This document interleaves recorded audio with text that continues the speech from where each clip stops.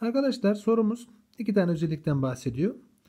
Bir sayı üzerine sağ tarafa doğru ok koyarsak sayının kendisi, sola doğru ok koyarsak sayının basamaklarında olan sayılar ters çevir yani soldan sağa doğru yazılacakmış. Mesela 1523'ün tersten yazıldığı zaman 2000, 3251 olması gibi.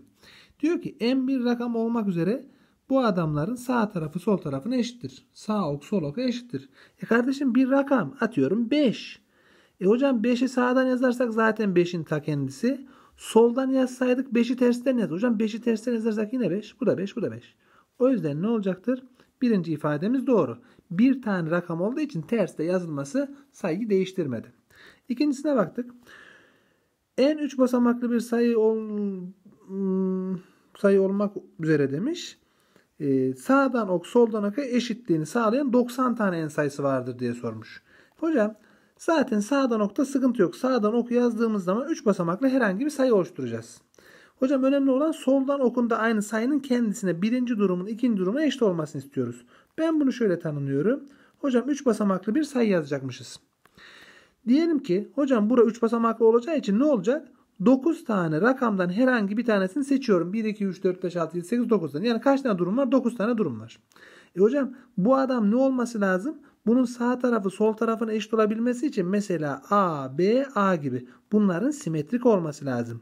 Buraya seçtiğin 9 tane sayı varsa bu sayı bunun aynısı olacak. Bak buraya A seçmişsem 9'un birlisi bu kesinlikle A olacak. Yani 9'un birlisi bura garanti. Bunun aynısı olacağı için buna tekrar 9'un birisi demiyorum 1 diyorum. Hocam araya ne kaldı? Hocam geriye kalan istediğin sayı yazabilirsin. Yani 10 tane rakamdan birini seçebilirsin. Dolayısıyla buraya ne yapabiliriz? 90 farklı sayı yazabiliriz demiş. Evet en 90 tane sayı değerini alabilir demiş. İkincisi doğru. Üçüncüsü diyor ki hocam N'in sağ oku ve sol ok değerleri demiş. iki basamaklı sayılar olmak üzere bu ikisinin toplamı ne olur demiş. En küçük değeri 33'tür demiş. Burada bize 11 ve 12'yi düşünmemizi istiyor. Ama arkadaşlar rakamları farklı falan demediği için 11. E sağ oka göre bakarsak 11. Sol oka göre bakarsak 11'in tersi yine 11. Toplayınca ne olması lazım? En küçük değerimizin 22 olması lazım. 33 değil arkadaşlar. Üçüncü sorumuz yanlış. Cevabımız da D şıkkı olarak bulunması lazım.